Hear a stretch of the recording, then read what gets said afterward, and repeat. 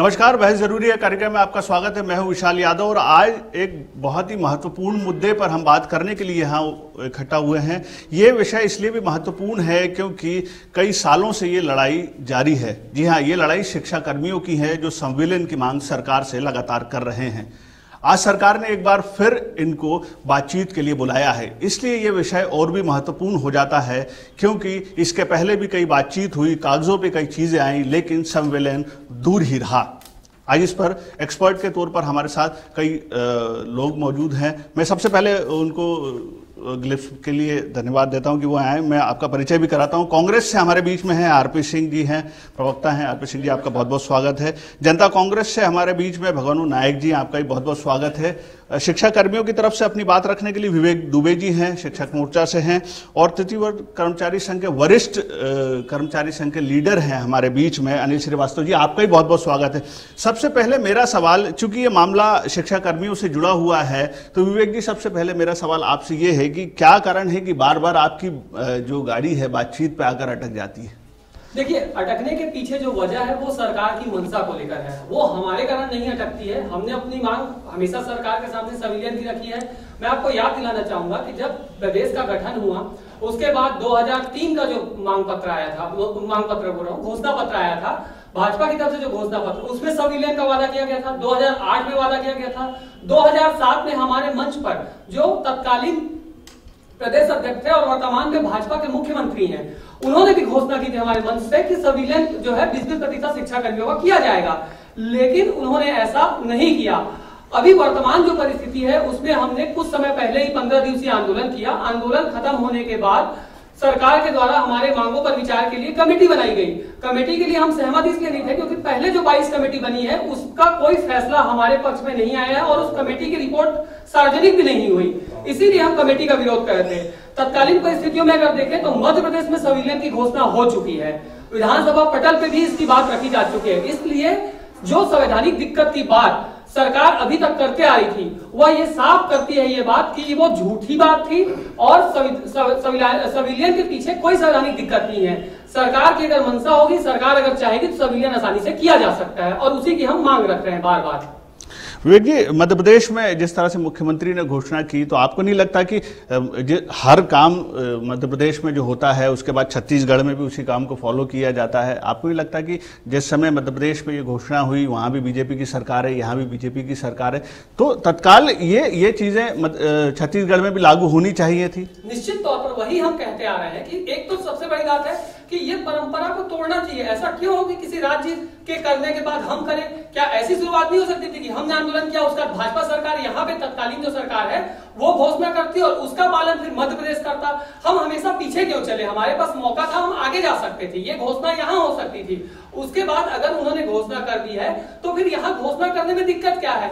यहाँ बार बार कमेटी बार बार बैठ के आप देखिए, मैं आपका ध्यान एक चीज़ की ओर आकृष्ट करना चाहूँगा कि कमेटी की समय सीमा तीन माह रखी गई थी। चार छोटे छोटे मुद्दे थे। सविलियन के मुद्दे के लिए उसमें नोटिफिकेशन भी जारी नहीं किया गया है। और जिन मुद्दों को लेकर कमेटी बनाई गई है, वो कमेटी तीन महीने की समय सीमा में, जबकि स्वयं मुख्यमंत्री ने बनाया है। माननीय जो मुख्य सचिव है प्रदेश के, वो उसकी अध्यक्षता कर रहे हैं। उसके बाद भी कमेटी सही समय पर निर्णय नहीं दे पा रही है। उन्हें एक महीने का और एक्सटेंड किया जा रहा है। उसका हमारा सीधा सीधा विरोध है कि भाई, जिस समय सीमा को निर्धारित किया गया है उस समय सीमा पे अगर अफसर रिपोर्ट नहीं दे पा रहे हैं तो क्या उनको कोई कार्रवाई नहीं होनी चाहिए? क्या उनकी कोई ज़िम्मेदारी नहीं कि उस समय पर रिपोर्ट सौंपे?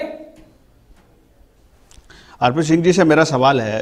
आरपी सिंह जी, आपने जिस तरह से विवेक जी की बात सुनी, ये उन्नीस में ये मामला कांग्रेस की ही सरकार का था। उन्नीस में जब कांग्रेस ने, सरकार थी तो उन्होंने प्लान किया था कि ये गाँव गाँव तक पंचायतों के माध्यम से, पंचायत में शिक्षा कर्मियों की नियुक्ति करके, गाँव तक शिक्षा कर्मियों की नियुक्ति की जाए और गाँव में जो माहौल है शिक्षा का वो बनाया जाए। ये इसके बाद परिवर्तन होते चले गए। लेकिन शिक्षा कर्मियों को जो हक मिलना चाहिए था, वो नहीं मिला। अब लंबे समय से बीजेपी की सरकार है, मध्य प्रदेश में भी और छत्तीसगढ़ में भी। मध्य प्रदेश में चूँकि मुख्यमंत्री ने सीधे घोषणा कर दी है, आपको नहीं लगता कि छत्तीसगढ़ में भी ये पहल होनी चाहिए शिक्षा कर्मियों के फेवर में? निश्चित तौर पर होनी चाहिए। देखिए, आपने एक बात बड़ी अच्छी की कि नाइन्टी में ये कॉन्सेप्ट कांग्रेस सरकार लेके आई थी। इसके पीछे दो मुख्य उद्देश्य थे। एक तो शिक्षित बेरोजगार जो हमारे युवा हैं, उनको रोज़गार देना और दूसरा गाँव गाँव में शिक्षा का प्रसार करना। उस समय इनका नियमितीकरण इसलिए संभव नहीं था या नियमित भर्तियाँ इसलिए संभव नहीं थी कि उसमें बजट बहुत कम हुआ करता था। आपको याद होगा, जब हमारा राज्य बना था तो हमारा पहला बजट था लगभग साढ़े तीन हज़ार करोड़ का। अब वो बजट बढ़ते हो गया है लगभग नब्बे हज़ार करोड़ सत्तासी हज़ार करोड़ समथिंग है। उसमें यदि सेंट्रल गवर्नमेंट क्रेडिट मिला लेंगे तो वो एक लाख करोड़ से ऊपर चला जाता है। तो मेरा कहना यह है कि जब साढ़े तीन हज़ार करोड़ में हम नहीं दे पाए तो अब सरकार एक लाख करोड़ रुपए का बजट आखिर क्यों देना नहीं चाहती? 2003 में मुझे याद है, मुख्यमंत्री जी ने कहा था और घोषणा पत्र मेरी गाड़ी में भी रखा हुआ है कि हम सात दिन के अंदर, जिस दिन हमारी सरकार बनेगी, सात दिन के अंदर संविलियन कर देंगे। उसके बाद शिक्षा कर्मी मित्र हमारे जो कह रहे थे, बिल्कुल सही बात है कि 2008 के चुनाव में एक नया जुमला उछाला गया कि 20-20 प्रतिशत शिक्षकों का संविलियन हर वर्ष होगा। इस तरीके से पाँच साल में शत प्रतिशत संविलियन हो जाएगा। और शिक्षकों ने एक बार फिर से सरकार पर भरोसा जताया था। 2013 में क्या हुआ था, फिर किसी को बताने की ज़रूरत नहीं है। तो सब मिला के बात यह है कि तारीख पे तारीख तारीख पे तारीख मिली, लेकिन इंसाफ कभी नहीं मिला। बाईस कमेटियाँ बन चुके हैं, तेईसवीं कमेटी है। और मेरे मित्र बहुत अच्छी बात कह रहे थे कि ये कमेटी जो माननीय मुख्यमंत्री के निर्देश पर बनती है, और प्रदेश के मुख्य सचिव उसकी अगुवाई करते हैं। वो यदि एक समय सीमा, एक टाइम फ्रेम में काम नहीं कर पाती है तो ऐसी सरकार को बने रहने का क्या औचित्य है? ये मेरी समझ से परे है, लेकिन एक बात ज़रूर कहूँगा, जो हर प्रोग्राम में मैं कहता हूँ कि ऐसा कोई सगा नहीं जिसको भाजपा ने ठगा नहीं। सिर्फ़ शिक्षा कर्मी नहीं, समाज का हर वर्ग भाजपा से अपने आप को ठगा हुआ महसूस कर रहा है। सरकार में थोड़ी भी यदि नैतिकता है, इंसानियत है, अपने किए गए वादों को निभाने के लिए मन में सदीक्षा है तो शिक्षा कर्मियों का सम्मेलन उसी तर्ज पर होना चाहिए, जैसा कि मध्य प्रदेश में हुआ है। मैं आपको एक यहाँ एक बहुत ही महत्वपूर्ण एक बात बताने की कोशिश करता हूँ। ये ये इसलिए भी महत्वपूर्ण है क्योंकि लगातार सरकार आरबीआई से कर्ज ले रही है। इसके पहले भी सरकार ने छः हज़ार रुपये छः हज़ार करोड़ रुपए का कर्ज लिया था।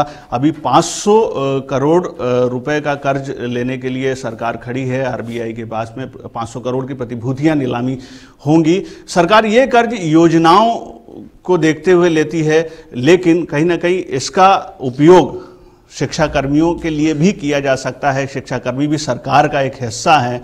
आपको नहीं लगता है श्रीवास्तव जी, कि ये जो चीज़ें बनी हैं, सरकार लोन भी लेती है और दूसरी तरफ़ सुविधाएँ भी नहीं देती है, आपको नहीं लगता कि ये सब चीज़ें खत्म होनी चाहिए? जो शिक्षा कर्मी हैं, उनकी संख्या करीब एक लाख अस्सी हज़ार वर्तमान में है। जो दूरस्थ अंचल में कार्य भी कर रहे हैं, बहुत ही दुखद स्थिति है। कि शिक्षा जैसे क्षेत्र से जुड़े हुए व्यक्ति, जो सामान्य शिक्षा कार्य करता है, चाहे वो सहायक शिक्षक हो, चाहे व्याख्याता हो, चाहे उच्च स्तरीय शिक्षक हो, उसके समान ही हमारे शिक्षा कर्मी लोग काम करते हैं।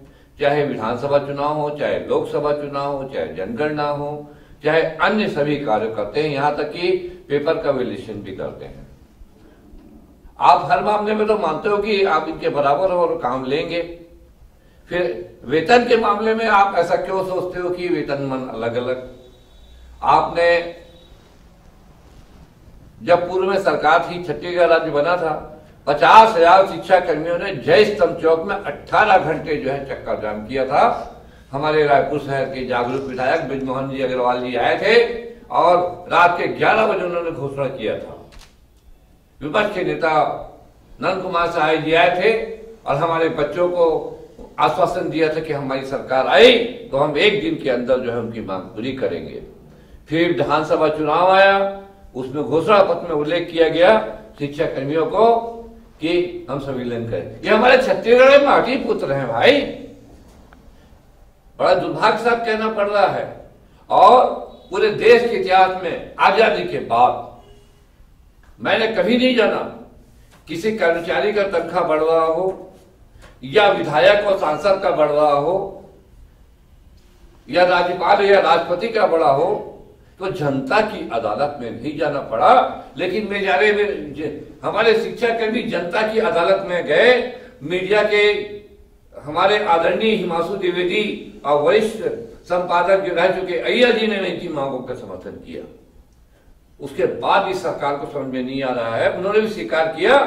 कि इनकी मांग जायज़ है और इनको भी समान शिक्षा के समान वेतन मान मिलना चाहिए। सुप्रीम कोर्ट ने कहा कि इनको जो है समान काम, समान वेतन के अनुसार इनको भी शिक्षा कर्मियों को भी संविलियन का उसके समान वेतनमान मिलना चाहिए। और सरकार ने अपना पक्ष भी रखा वहाँ पे कि नहीं, हमारी शर्तें थी और ये शर्तों के अनुसार की भर्ती किया गया था। तो सुप्रीम कोर्ट ने यह कहा, सरकार के ऊपर आरोप लगाया कि शिक्षित बेरोजगारों का सोची समझी साजिश के तहत आप उनका आर्थिक शोषण कर रहे हैं उसकी मजबूरी का फ़ायदा लेकिन इसके इसके इसके बावजूद भी ये ये फैसला क्यों नहीं हो पाता? जब इनकी तो मांगे हैं पिछले लंबे समय से ये चल रही हैं। एक एक स्टेट उसको, मांगों को मान लेता है, दूसरा स्टेट उसमें देरी करता है। ये ये तो शिक्षा कर्मियों के साथ न्याय की बात नहीं हुई। भगवान नायक जी, आप आप आप क्या देखते हैं? क्योंकि आप जिस पार्टी से बिलोंग करते हैं, छत्तीसगढ़ जनता कांग्रेस से, उसकी उसके मुख्यमंत्री पहले रहे हैं, यहाँ पर प्रथम मुख्यमंत्री अजीत जोगी जी। उन्होंने भी अब ये बात को कहा है कि वो जब सरकार में कभी आए तो वो शिक्षा कर्मियों के संविलियन पर बात ज़रूर करेंगे।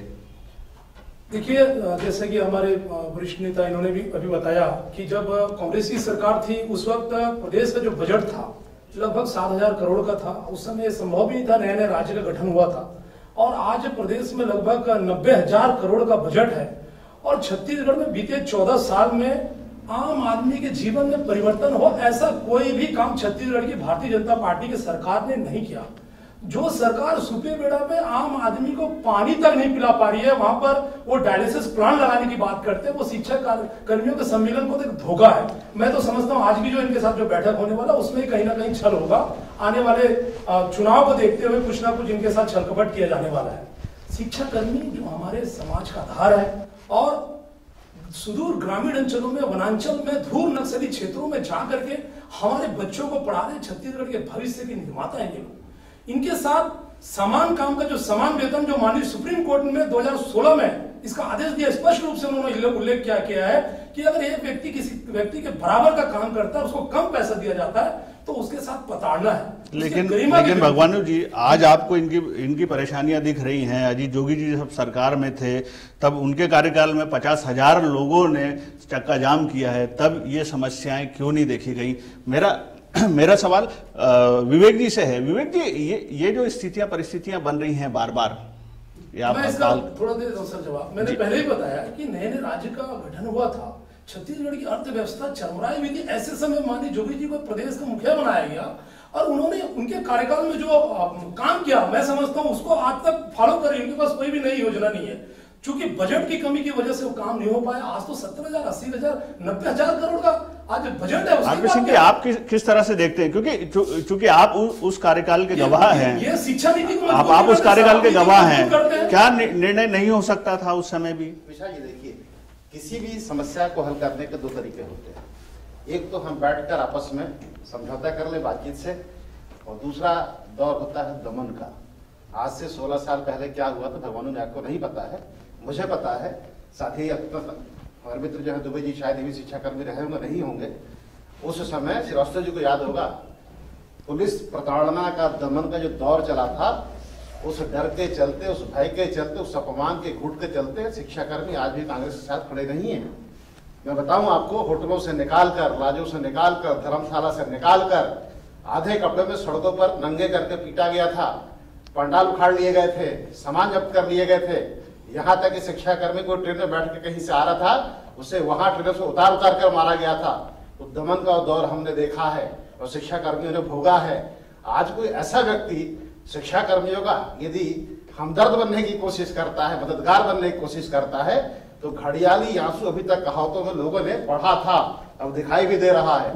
शिक्षा कर्मी वर्ग जो आज तक हमसे नाराज़ था, उसके पीछे कहीं ना कहीं ये वजह थी। लेकिन जोगी जी के कांग्रेस से बाहर जाने के बाद हमारा मंतव्य बड़ा स्पष्ट है कि शिक्षा कर्मियों की जो जायज़ मांगे हैं, वो प्राथमिकता के आधार पर पूरी होनी चाहिए और हमारी सरकार आएगी तो हम इसको प्राथमिकता के आधार पर पूरा करेंगे। जैसा कि आरपी सिंह जी ने कहा, विवेक जी कांग्रेस का तो ये प्रॉमिस हो गया है कि वो आपकी मांगे पूरी करेंगे, लेकिन आपको क्या लगता है?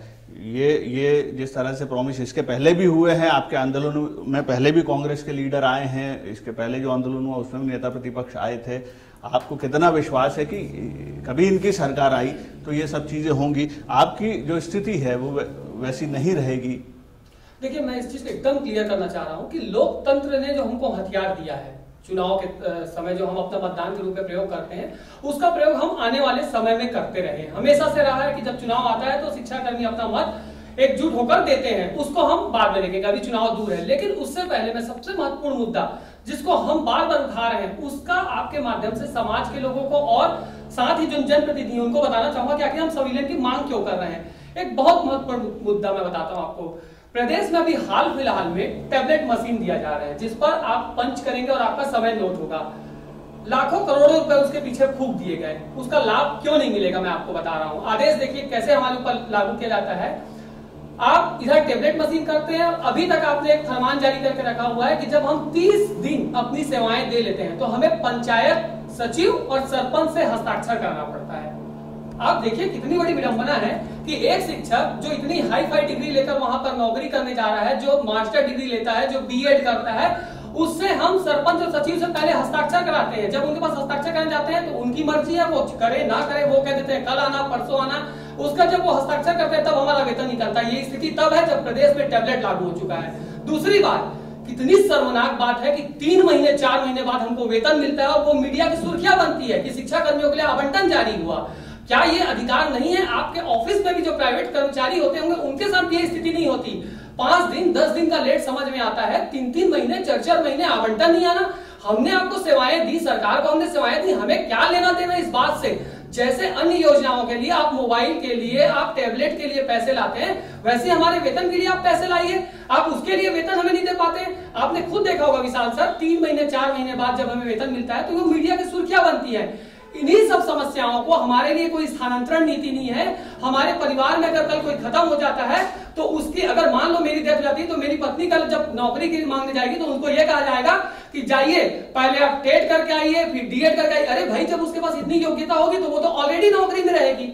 अनुकंपा नियुक्ति जिसे सहानुभूति पूर्वक सरकार देती आ रही है पंचायत के कर्मचारियों के लिए इसे भी इतना मुश्किल बना दिया अधिकारियों ने। और मज़ेदार चीज़ बताता हूँ आपको मैं। अध्ययन अवकाश। पूरे प्रदेश में कर्मचारियों के लिए स्थिति है कि दो वर्ष के लिए अध्ययन अवकाश दिया जाता है, जहाँ पर सरकार उन्हें पेमेंट देती है। शिक्षा कर्मियों के मामले में यह है कि वो कहते हैं कि आप दो साल के लिए अवैतनिक अध्ययन अवकाश पे जाइए। मतलब उसे कोई सैलरी नहीं मिलेगी। कोई व्यक्ति अपने परिवार का भरण पोषण कैसे करेगा अगर आप उसे वेतन नहीं देंगे? वो प्राइवेट कॉलेज के साठ हज़ार, सत्तर हज़ार फ़ीस कैसे पटाएगा? ये सब स्थितियाँ हैं। इसीलिए हम संविलियन की मांग कर रहे हैं और इसीलिए हम संविलियन की मांग पे टिके हुए हैं। समाज को भी ये समझना ज़रूरी है कि आंदोलन शिक्षा कर्मियों का शौक नहीं है। हम भी चाहते हैं कि प्रॉपर हम स्कूल में पढ़ाएँ, जो हमारा काम है वो करें। आप देखिए, अभी आंदोलन के बाद हमें सजा के तौर पर यह दिया गया था ज़िम्मेदारी कि आप एक घंटे अधिक अतिरिक्त पढ़ाइए। क्या उसके लिए हमने आंदोलन किया? नहीं किया। हमने उस ज़िम्मेदारी को निभाया। क्या उसके बदले सरकार की ज़िम्मेदारी नहीं बनती? क्या समाज की ज़िम्मेदारी नहीं बनती कि वो हमारे साथ खड़े और ये बोले कि इनको समय पर वेतन दीजिए? कभी भी शिक्षा कर्मियों के ऊपर कोई भी कार्रवाई हुई, जो भी आरोप लगा दिए जाते हैं, कभी भी कि शिक्षा कर्मी समय पर नहीं आते। समय पर नहीं आते। आपके पास बीओ है, आपके पास डीओ है, आपके पास जिला पंचायत सीओ कार्रवाई कीजिए। जिन शिक्षा कर्मियों के ऊपर कभी भी आपने कार्रवाई की क्या आज भी आप एक उदाहरण बता दीजिए कोई भी कि हमने उसके लिए आंदोलन किया हो कि इस व्यक्ति के ऊपर आपने कार्रवाई की? आप कार्रवाई करने के लिए स्वतंत्र हैं। अगर कहीं पे कुछ गलत हो रहा है तो उसके लिए स्वतंत्र हैं। आपने गलत भर्ती की अगर नीति गलत थी तो उसके भी जिम्मेदार लेकिन शिक्षा कर्मियों पे तो ये भी आरोप लगे हैं कि पिछली बार जब उन्होंने अपनी हड़ताल की तो वो किसी समझौते के तहत उन्होंने खत्म कर उसका ली। मैं जवाब देना चाहूँगा सर। कर्मचारी संगठन होने के नाते हमारी एक लिमिटेशन है। उस लिमिटेशन के तहत हम आंदोलन करते हैं। कभी भी ऐसा नहीं हुआ है इस प्रदेश कहीं नहीं कहीं का भी आंदोलन कि जब आंदोलन करो तो तत्काल वो खत्म हो जाए। कहीं ना कहीं जाकर समझौता करना पड़ता है। दूसरी बात जो आंदोलन करता है और जिसका शासन रहता है वो दोनों की ज़िम्मेदारी बनती है कि उसको गंभीरता से लिए। हमने आंदोलन किया सरकार ने गंभीरता से नहीं लिया आखिर उस आंदोलन को हम कितने दिन तक चलाते हैं? भाई जब हमें यह लगा कि सरकार बिल्कुल भी नहीं झुक रही है सरकार इस चीज़ को मानने को तैयार ही नहीं है तो हमें कहीं ना कहीं समझौता करना था। समझौता जहाँ करना था वहाँ पर हम शून्य से वापस लौटे। हमने सरकार से ये समझौता नहीं किया कि आपने हमारे दो आदेश दे सिंह आप क्या कहेंगे? ये ये जिस तरह से हड़ताल रुकवाई गई थी आपको नहीं लगता कि कहीं ना कहीं इसमें कोई एक बड़ा प्रेशर रहा होगा? देखिए सुशांत जी एक बात मैं कहना चाहूँगा। इस सरकार के तीन कार्यकाल हुए। पहला कार्यकाल था रमन कार्यकाल, दूसरा कार्यकाल था गबन कार्यकाल, उसमें ज़ोर पूरा भ्रष्टाचार पे था, और तीसरा कार्यकाल था दमन कार्यकाल। ये दमन का दौर चल रहा है। शिक्षाकर्मी हो, आंगनबाड़ी हो, सहायिकाएँ हो, जो भी हैं, उनको किसी न किसी प्रकार से डरा धमकाकर हड़ताल वापस कराई जाती है। जिस तरीके से आधी रात को जेल में समझौता होता है तो हम आप समझ सकते हैं कि शिक्षाकर्मी नेताओं पर कितना दबाव होगा। मैंने अपने जीवन में पहली बार देखा कि एक निर्वाचित सरकार जो अपने आप को संवेदनशील होने का दम्भ भी भरती है, वो महिलाओं के लिए शौचालय बंद करा देती है, ताकि हमारी माताएँ और बहनें शौचालय का इस्तेमाल ना कर सके। ऐसी सरकार को आप क्या कहेंगे?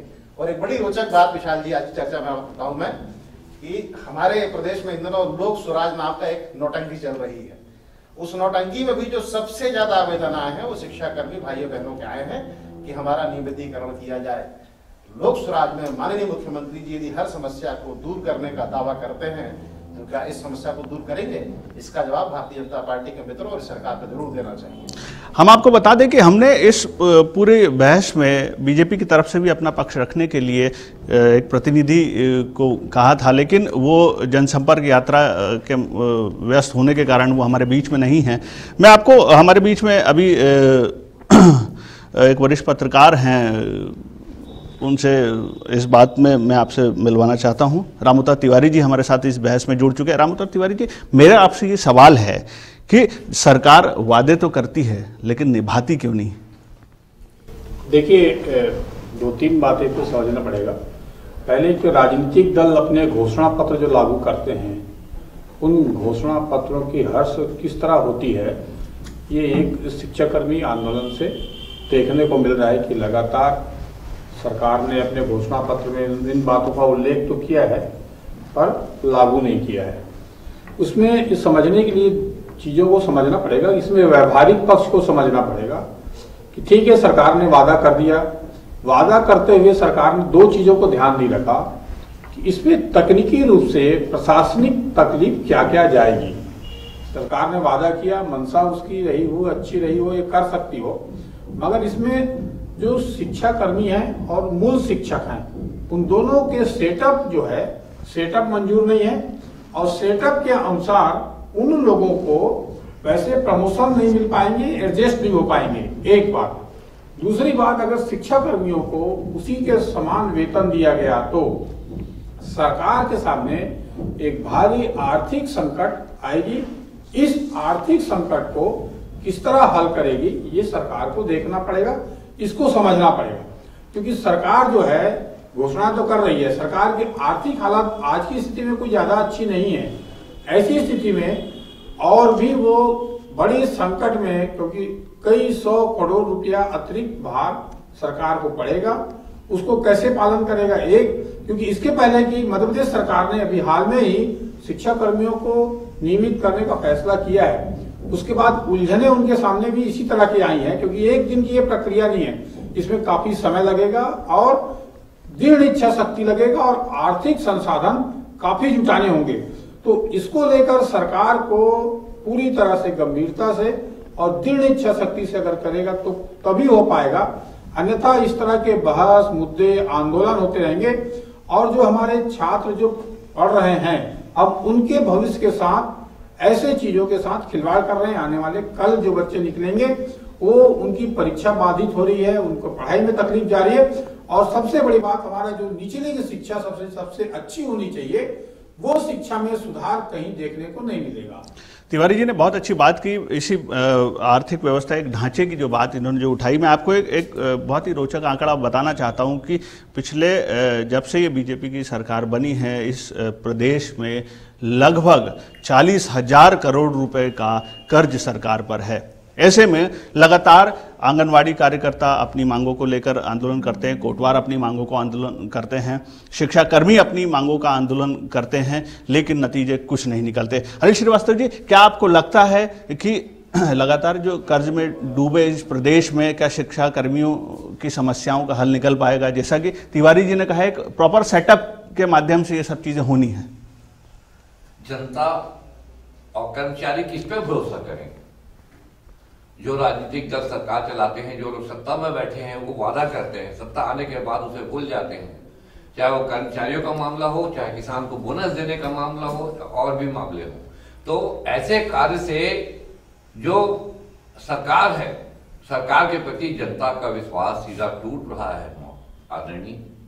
और कोई सरकार पे भरोसा नहीं करेगा कि इनके इनके वादा जो है सिर्फ़ घोषणा पत्र भी जो है वो छलावा है। दूसरी बात ये, और भी विकट स्थिति है कि शिक्षा कर्मी का मामला हो, या आंगनबाड़ी का मामला हो, या कोटवाल का मामला हो, इनको तीन तीन महीने होली और दिवाली में तनख्वाह नहीं मिलती। आज भी हमारे इन वर्गों को सात लाख कर्मचारी हैं, उनको तीन माह से तनख्वाह नहीं मिली। और सबसे बड़ी बात है कि करीब तीस लाख परिवार के सदस्य हैं। वो कैसे जीवन व्यतीत कर रहे होंगे? तीस लाख बहुत मायने रखते हैं। उनकी व्यवस्था नहीं। दूसरी ओर, जो मंत्रालय में बैठे अधिकारी हैं, जो जो जो कभी नहीं हुआ, ऐसा हो रहा है। एडवांस ऑफ़ प्रमोशन कभी नहीं हुआ, सामने वाला रिटायर नहीं हुआ रिटायर की तारीख देख के उनको जो है वो प्रमोशन दे दिया गया, क्योंकि उनको मोबिलाइज करना था। पहले एक जो है वो मुख्य सचिव होता था आज सात सात मुख्य सचिव को पाल कर रखा गया है। सरकार जो है वो पैसे का दुरुपयोग कर रही है। अभी एक और हमारे कर्मचारियों को तनख्वाह नहीं मिलती और दूसरी ओर जो है वो मोबाइल बांटा जा रहा है। ये कहाँ का न्याय है? पहले लोगों का पेट पर जो एक मिनट। क्यों? कि ये भी छत्तीसगढ़ के मूल निवासी हैं, इनको भी दो टाइम खाना लगता है। भूख, लोग कहते हैं कि भूखे पेट भजन नहीं होता। तो शिक्षा, और उससे अपेक्षा करते हो कि पढ़ाएगा। कैसे पढ़ाएगा? उसका बच्चा भी इलाज के लिए पैसा नहीं है। और अनाज दुकान वाला उसको जो है अनाज देना बंद कर दिया। घर में जो बाई कर, काम करती है वो दो तारीख को तनख्वाह मिलती लेकिन श्रीवास्तव जी श्रीवास्तव जी मुख्यमंत्री तो लगातार कह रहे हैं कि वो शिक्षा कर्मियों को ले जो उनके विषय है उनको लेकर लगातार संवेदनशील है। उनकी मांगों पर उनका लगातार फोकस है। आप आप आप जिस तरह की चीज़ें उठा रहे हैं मुख्यमंत्री कहीं ना कहीं चीज़ों को ज़रूर देख रहे हैं। मैं सहमत हूँ। एक मिनट बात करूँगा क्योंकि आपने मुझसे प्रश्न किया है इसका जवाब देना ज़रूरी है। हमारे मुख्यमंत्री ने जब इनकी हड़ताल अभी दिसंबर में तेरह दिन हुई थी, मुख्यमंत्री बुलाया थे, उनसे बात किए थे। अफसर अफसरशाही की निरंकुश है कि मुख्यमंत्री की बात नहीं माने, तीन महीने में रिपोर्ट प्रस्तुत नहीं की जा सकी। यदि तीन महीने बाद रिपोर्ट प्रस्तुत की जाती तो अपनी स्थिति उत्पन्न। अरे कोई भी कोई भी रिपोर्ट चार लाइन लिख के सरकार को नहीं दे सके, ये आई एस अफसर कि रिपोर्ट ऐसी है करके। और एक माह का कार्यकाल फिर बनाना पड़ा। इसमें हमारे कर्मचारियों का आक्रोश होना स्वाभाविक है। और संविधान का सवाल है हर मामले में मध्यप्रदेश का उदाहरण दिया जाता है। आरपी सिंह जी मेरा मामले में क्यों? मेरा आरपी सिंह जी आपसे ये सवाल है। जिस तरह से अनिल श्रीवास्तव जी ने कहा कि अफसर शाही क्या आपको लगता है सरकार और अफसरों के बीच में ये तालमेल नहीं होने के कारण इस तरह की समस्याएँ उत्पन्न हो रही हैं? देखो विशाल जी आपने एक बात बहुत अच्छी कही कि सारे मामले को मुख्यमंत्री बहुत नज़दीक से देख रहे हैं। आप सच है। वो देख रहे हैं लेकिन कर कुछ नहीं रहे हैं। अब जहाँ तक प्रशासनिक अफसर शाही की बात है स्वर्गीय दिलीप सिंह जुदेव जी ने जिस शब्द का इस्तेमाल सबसे पहले किया था, वो शब्द था, इस राज्य में प्रशासनिक आतंकवाद है। ये हम नहीं कह रहे हैं। ये स्वर्गीय दिलीप सिंह जुदेव जी ने कहा था और भाई श्रीवास्तव जी ने जो बात कही है, ये उसी लाइन को इन्होंने आगे बढ़ाया है और हाल ही के दिनों में घटना घटी थी, जो आपके माध्यम से भी लोगों तक पहुँची कि अब इस प्रदेश में राजनीतिक आतंकवाद भी आ गया है। थाने में थानेदार को जान से मारने की धमकी दी जा रही है। उसके घर और उसकी कार पे हमला किया जा रहा है। पुरानी कहावत थी कि सैया भय कोतवाल तो अब डर कहेगा इस सरकार ने इस कहावत के मतलब भी उलट दिए हैं। इस राज्य में कोतवाल ही डरा हुआ है तो दूसरों को तो भगवान जाने। देखिए, मनसा जो है शासन की बड़ी स्पष्ट होनी चाहिए। श्रीवास्तव जी ने एक बात बहुत अच्छी की जब चौदहवें वित्त आयोग का पैसा पंचायतों से चुराकर 600 करोड़ रुपए का टावर लगाने के लिए निजी कंपनियों को दिया जा सकता है तो उसका मकसद विकास करना कतई नहीं होता, उसका मकसद सिर्फ़ कमीशन खोरी होता है। मकसद यदि विकास करना होता तो भारत संचार निगम लिमिटेड बीएसएनएल कंपनी है। लेकिन बीएसएनएल आपको कमीशन नहीं देगा, इसलिए आप निजी कंपनियों को लेकर आते हैं। क्या आवश्यकता है तेरह करोड़ रुपए के मोबाइल फ़ोन बांटने की? आप बांटिए शिक्षा कर्मियों को संविलियन पहले कर दीजिए, कर्मचारियों की मांगे पहले पूरी कर दीजिए। किसानों के साथ जो आपका वादा था उसको पूरा कर दीजिए। फिर एक नहीं, दो दो मोबाइल बांटिए। आपकी खुशी में हम भी शामिल हो जाएँगे। एक मुझे पुराना शेर याद आता है कि अपनी खुशी में मेरे गम भी कर लो शामिल, और इस कदर हंसो की आँख से आँसू निकल पड़े। तो खुशी का आँसू निकालिए साहब, दर्द का आँसू मत निकालिए, क्योंकि दर्द के आँसू में वो आँच होती है, वो तेज होती है, वो आग होती है कि जिसमें आप जल के भस्म हो जाएँगे। बहुत अच्छी बात कही आरपी सिंह जी ने। आरपी सिंह जी, मैं आपकी ही बात को आगे बढ़ाता हूँ। तिवारी जी, आप आप कितना इतफाक रखते हैं आरपी सिंह जी की बात से? क्योंकि आप लंबे समय से यहाँ पे छत्तीसगढ़ में पत्रकारिता कर रहे हैं। सरकार और अधिकारियों को आपने बड़े करीब से देखा है। क्या आपने कभी ये ये जो स्थिति बनी है, जिस तरह की, मैं तो कहूँगा ये विस्फोटक स्थिति बन रही है, कि लगातार सरकार से कर्मचारी नाराज़ हो रहा है, अपनी मांगों को लेकर आंदोलन कर रहा है, आपको नहीं लगता कि इसे सुधारने की ज़रूरत है? देखिए, चुनाव के आते आते तमाम कर्मचारी संगठन और राजनीतिक दल और अलग अलग संगठन अपनी मांगों को तेज करते हैं और अपनी मांग को लिए दबाव बनाते हैं और यही समय उपयुक्त माना भी जाता है। इसलिए ज़्यादातर मांगों को सरकार अपने राजनीतिक स्वार्थ या अपने फ़ायदे, नुकसान को देखते हुए मानती भी है। परंतु इससे भी हट के बात यह है कि जो मानवीय आधार पर कुछ लोगों को वेतन वृद्धि है या समस्याएँ हैं उसको अगर समय समय पर सरकार हल करते रहे तो ये इस तरह के दबाव एक साथ नहीं पड़ते, बड़ी नाराज़गी समय नहीं दिखती एक साथ। लंबे समय से सत्ता में है, एक ही पार्टी है। तो ऐसी स्थिति में जिन लोगों के जिनाई मांग है, उनकी ये जरूरतें हैं और संसाधन, पर्याप्त संसाधन है, उसको देखते हुए अगर पूरा करें, ये सरकार का दायित्व भी बनती है कि सरकार अंततो गत्वा तो जनता के लिए काम करती है और उनकी समस्याओं के लिए और उसको हल करने के लिए। और अगर बेहतर अन्य राज्यों में ऐसे किए जा रहे हैं या और अन्यथा ऐसे हो सकते हैं तो ऐसे रास्ते निकालने की कोशिश होनी चाहिए। तो एक बात, दूसरी बात यह है कि शिक्षा कर्मी को लेकर अपने प्रदेश में एक नवगठित राज्य है। यहाँ पर शिक्षा व्यवस्था को बेहतर करने की सबसे ज़्यादा ज़रूरत है। आदिवासी और पिछड़ा इलाका है। यहाँ पर शिक्षा के स्तर पर अभी तक जिस तरह से उच्च शिक्षा पे काम हुए हैं बड़े बड़े संस्थान तो आए हैं, परंतु किसी भी देश में, विश्व में भी, अन्य देशों में सर्वाधिक खर्च जो होते हैं, वो प्रारंभिक, प्राथमिक शिक्षा पे खर्च होते हैं। प्राथमिक शिक्षा में शिक्षक पे और ढांचा तैयार करने में खर्च होते हैं, ताकि हमारे आने वाला भविष्य, आने वाला नव निर्माण और आने वाले बच्चे जो तैयार होंगे, वो उसी अनुसार से होंगे जो हमारे राज्य की, देश की और समाज की प्रगति उसी आधार पर होती है। तो हम एक अच्छे समाज का निर्माण करना चाहते हैं तो अच्छा शिक्षा अच्छा संस्कार अच्छा शिक्षक सबसे ज़रूरी चीज़ है। जिस तरह रोटी, मकान की ज़रूरत है, उसी तरह शिक्षा की ज़रूरत है। इस पर सरकार को राजनीति और लाभ और नुकसान के अलावा भी इन चीज़ों को देखना चाहिए कि शिक्षा व्यवस्था कैसे बेहतर हो सकती है? देखिए, सरकार को काफ़ी अधिकार है सेटअप मंजूर करने और वेतनमान को लेकर जो पुराने शिक्षक है, उनको किस तरह एडजस्ट करके, पदोन्नति किस तरह हो सकते हैं? कई सरकार के सामने उलझने हैं। उन उलझनों को जब तक बैठकर समाज से ही हल सकते हैं, आंदोलन प्रदर्शन से लंबे समय से ये हल नहीं हो सकते। कोई भी सरकार समाप्त करेगी, अपनी स्थितियाँ देखेगी, आर्थिक स्थितियाँ शिक्षा विभाग की ढांचागत स्थितियाँ, कितने शिक्षकों की ज़रूरत है, कितने वेतन मांग दे सकते हैं, सारे लोगों की समस्या मगर अब जो है, चर्चाओं का दौर काफ़ी लंबा हो गया। अब इस पर कोई निर्णय की ओर जाना चाहिए। तभी ये प्रदेश के भी हित में रहेगा और उन बच्चों के हित में रहेगा। वाकई सत्रह साल इस प्रदेश को बने हो गए हैं। सत्रह साल में इस प्रदेश ने कई आंदोलन देखे, कई हड़तालें देखी, लेकिन बीते चौदह सालों से जो सरकार है, शायद वो नहीं देख पा रही है कि इन लोगों की समस्याएँ क्या है। आखिर कब तक ये सब चीज़ें चलेंगी? सरकार और अधिकारियों के बीच में वो समन्वय कब सामने आएगा, जब इन समस्याओं का अंत होगा? लगातार बड़ी बहस के लिए देखते रहिए ग्लिप्स डॉट इन नमस्कार।